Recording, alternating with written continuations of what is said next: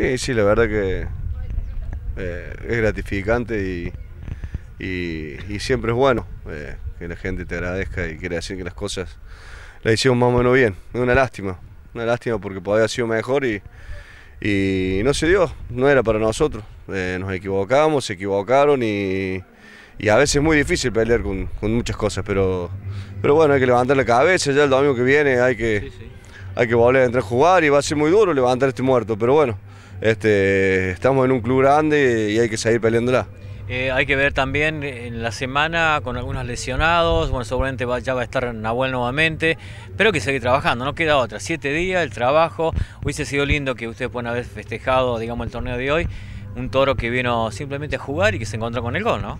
Sí, creo que fue muy, muy determinante a los dos, adicional el primer tiempo, un penal, creo que nos pusimos nerviosos y después al sentir el que Atenas iba ganando, creo que también nos jugó en contra.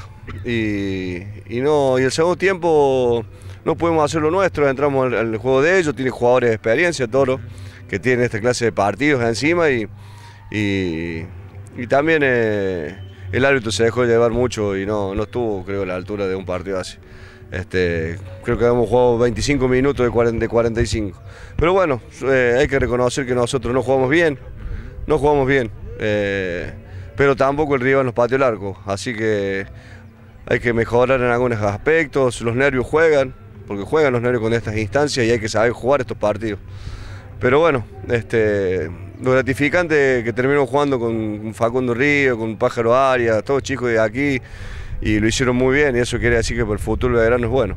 Vos lo habías dicho en una de las notas, ¿no? Creo que fue una de las primeras notas de, este año, 2019, donde decías que, bueno, por ahora viene un refuerzo, pero hay que ir pensando en un futuro, tener netamente jugadores del pueblo, obviamente con algún otro que venga de afuera, ¿no?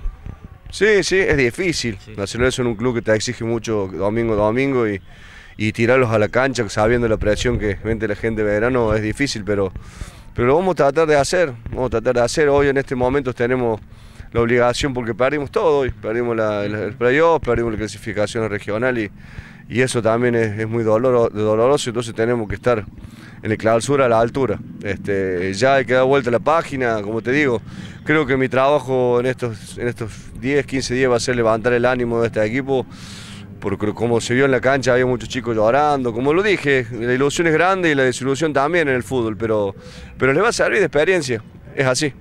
Eh, digo, por último, bueno, eh, vos decías, ¿no? Hay que seguir trabajando. Eh, ¿Hay posibilidad de que se queden de algunos de los chicos que están, teniendo en cuenta que son de afuera? ¿Van a seguir como refuerzo? ¿Vienen otros refuerzos para el tricolor?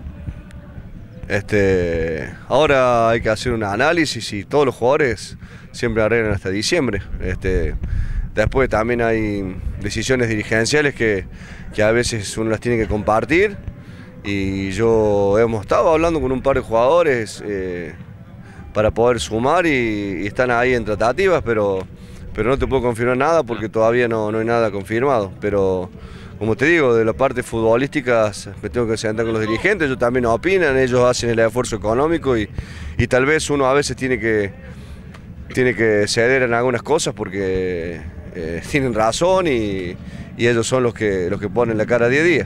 Eh, tenemos, eh, digamos, públicamente y personalmente agradecer, bueno, por la referencia tuya hacia con nosotros en tiempos buenos y en tiempos malos, ¿no? Porque ha habido partidos que han perdido, la gente que estaba enojada, los dirigentes, bueno, jugadores, y siempre ha estado atento a la prensa. Así que a seguir trabajando y pensar el domingo.